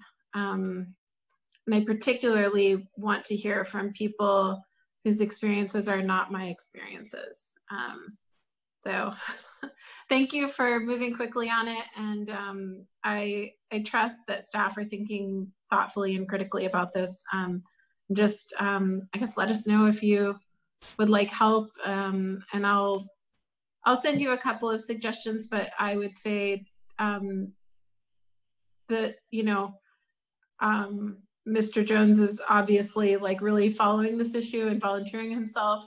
Um, the folks that I'm thinking of are folks who represent um, different parts of our community who are often not represented at our meetings, um, but haven't been like uh, overtly saying like, pick me to be on your committee. Um, it's just been more folks who come to mind as, as involved in the community, city residents who um, I think could could add some perspective. So I'll I'll send you a couple of um, ideas, but it's it's not something that I uh, I feel I need to insert myself on. Um, I see Councilmember Castellano wants to say something too, but I wanted to add really quickly about Mr. Jones because I've he's talked to me a, a couple of times, and what I love is that he's very new to this process which is really confusing. I mean, sometimes I'm still learning about it too. Um, and I think that to really reach people who are not um, really engaged, it is a win for us. So anytime we can find somebody who maybe is nervous or a little bit skeptical but willing to try it out, um, it's just such a nice, refreshing voice to hear. Uh, people who are just willing to take those baby steps into the process and uh, looking for them. Councilmember Castellano. Um, thank you, Director Folger, for the report, and um, I'm definitely excited um, to see this move. You know that you've really been moving this forward, so I, I really appreciate that. Um, I do think that, um, and I'll I'll send you a couple people. Um, one thing that that I would like to make sure we consider is just how we convey invitations, you know, to participate, because a lot of times, um, you know, like we may not know people who would be really valuable participants, or you know, and so I think um, ask, you know, creating different press releases to ask groups that support people of color um, to send out, and also um, using different kinds of media. You know, like some people, you know, like the radio is more accessible to some people than than you know television or you know or things like that. Um, so that's you know as we move forward and have more public meetings, um, I definitely want to make sure that um, we're looking for and considering opportun- ways of reaching people. You know, I mean, and maybe even like I know, um, you know, in my local community, a lot of people use the small grocery stores, right? You know, so maybe having some flyers um, at some of the small, like neighborhood grocery stores and things, or things like that, could be ways of uh, reaching people who might not um, access other kinds of media. Uh, certainly, uh, what, when we get to the steps where we're going to be doing that sort of very forward-facing community engagement, town hall meeting type of uh, communications, we're going to try to solicit interest in participating, um, solicit interest from the community to participate in that. Um, and we'll use whatever means we can to get the word out um, tactfully and uh, with, you know, an inclusive mind. And so um, right now we're we're starting with somewhat of a smaller core groups, and it's going to build out from there.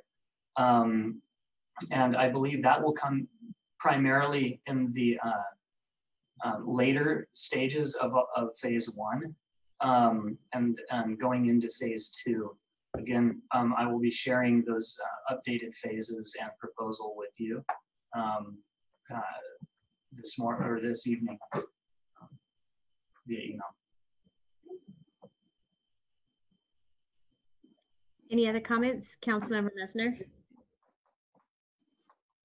Yeah, I really appreciate all the work you guys have done. I know it's um, difficult to, especially looking at the budget and what we were what we were asking um, for you to to make sure happened and do it quickly. So I just appreciate everything that you have done. Um, and I know there was a lot of work well before this over the last few years, but especially in the last year. So thank you for that. And um, I also will send you some names, um, but I, I completely agree with what um, Councilmember Castellano was saying, how important it is that we reach out in a diverse way, like to uh, kind of cross cross um, communications. It's really important. So um, as much as we can be thinking that way in, in those second phases or the end of your first phase or how wherever we start hitting that, um, that's going to be really important. And um, that's been there's actually quite a few people that at a very short notice I was able to get onto a panel um, within really five days. So I do know that there's people within our community that, and it was fantastic and fabulous, and that'll be um, public pretty soon because it's getting edited right now. But um, for this discussion and for the importance of this, so um, I def, you know, we definitely have members of our community that want to be engaged with this, but they're perhaps maybe don't know how either, or even what's happening. So I'll definitely forward you some names and um, and as it sounds like some of our other council members as well. So thank you so much for all the work you're doing on this and really appreciate staff and and the um, really the creativity that you guys have been able to come up with some funding as well. So thank you for working so hard on that.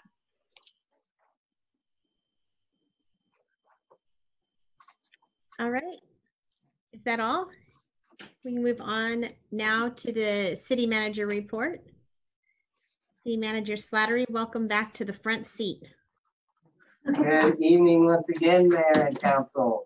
Um, just uh, not much. I wanted to give a quick uh, COVID update. Um, um, after the recent, um, you know, they opened, did the opening and then they they they closed down our restaurants again. I just want to thank our staff in Public Works and Community Services that have looked for outside of the box ways of helping out some of the restaurants who um, no longer have the ability to dine in. So we had already started a process prior to um, uh, the restaurants actually opening to allow for um, the um, free use of our sidewalks through an encroachment permits process, but free of charge.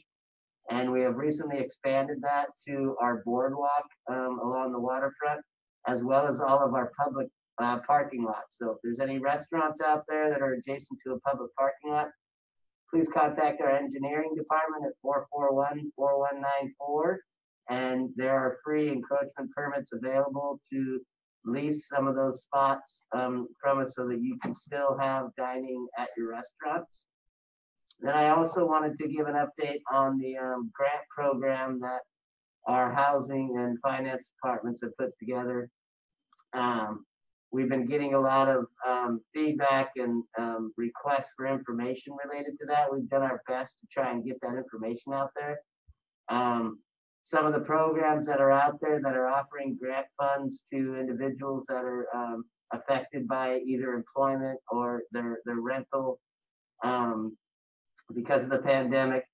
They have been requiring um, a, a lot of onerous information. I just want to get it out there that we simply just need the employment information demonstrating that you had a reduction in hours or that you have lost your employment through this pandemic and we can get grant funding to you. There was two hundred thousand dollars of grant funding for individuals available. At the last um, meeting, um, our housing specialist, uh, Kristen Raymond, reported that there was fifty thousand dollars of that used up. I'm sure there's been some more, but we still have a lot of funding available for those that are in need. And we also still have some funding available for those nonprofits that provide uh, shelter services and homeless services. And so um, if, if people are interested, please get a hold of our housing technician and we can help them out with that. And then the final note I wanted to go is uh, uh, we have a member of our city family who is um, in the ICU. Uh, he's a maintenance worker in our public works. It's Jim Hale. He is the uh, uh, uh, union chief for ECAA. And uh, he is um, in ICU right now, so I'm just hoping that we can all keep him in our thoughts and uh, hope that he gets better. And that's all I have. Oh, I'm sorry to hear that, but thank you for thinking of him. Um, so we will, does anybody have questions for Miles? Do you want to move on to council reports? We'll start with uh, Councilmember Bergel, since you're right there next to city manager. Well, I just, I don't really have a report. I just want to say thank you to our community and people that are wearing their masks in public and washing their hands and being responsible. I much appreciate you. And um, I know that this is really challenging. As many of you know, I'm kind of like a hugger and I'm a toucher and that kind of thing. And it's been really hard. And I'm sure that some of you are feeling that as well. Um, there are resources out there. So, you know, you don't have to do this alone. Thanks. Thank you. Councilmember Castellano? Let's see, um, staying busy. I've been involved with um, Eureka Main Street and some meetings associated with that.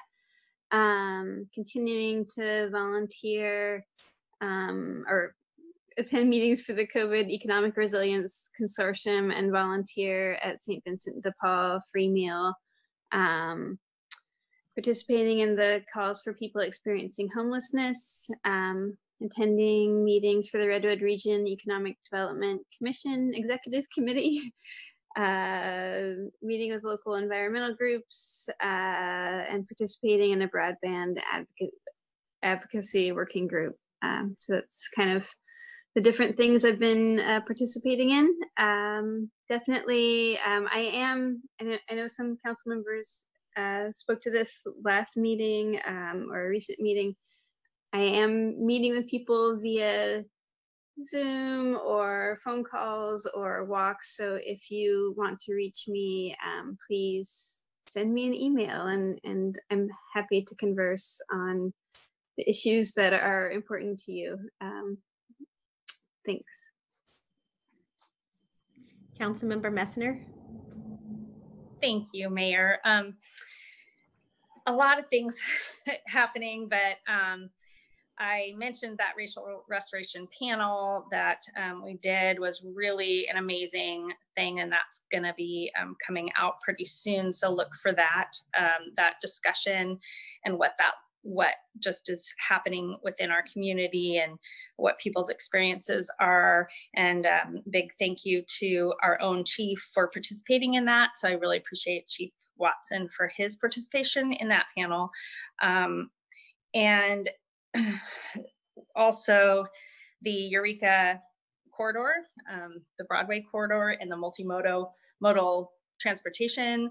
Um, that's in process right now and discussion and um, really looking forward to some of those concepts coming forward to the public as well. So that is going to be coming soon. Um, they're really working through those right now and there are some exciting opportunities um, and possibilities for future transportation around our community in and particularly in that area and uh, beautification, which we all would like.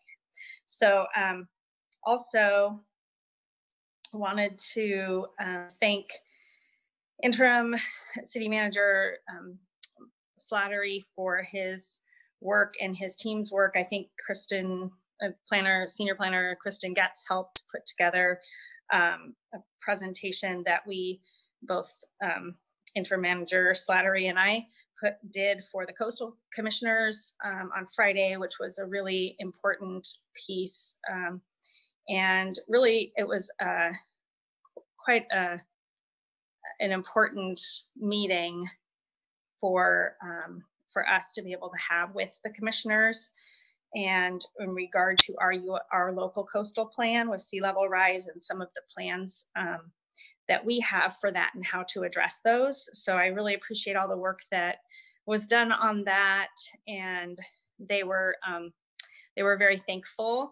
And every time we get in front of the coastal commissioners, um, every time I've been in front of them over the last two years since I've been on this committee at the state level, um, it's been really um, really good to see changes happening and better communication and better bridging with the coastal cities as well as the commissioners. So um, very, very important work. So thank you very much, Director Slattery and your team as well. So um, I think, oh, there's one other thing, and that is that there's a blood drive happening for EPD. EPD is doing a big blood drive. It's it's um, I guess it's there's quite a few different entities. They're having a competition, but we would love to see um, our our um, people come out and give blood. It's really important right now. This it's happening all week, but tomorrow's the big day, um, and so they're really in need of blood. People aren't giving the same way as it has been in the past and usually is because of COVID. So um, please come out and participate in the blood drive. Um, it's important for all of our community. So, because COVID isn't the only thing that people are dealing with physically, even as Director Slattery, Director Slattery mentioned earlier. So, thank you so much to everyone who um, will participate in that. Councilmember Arroyo.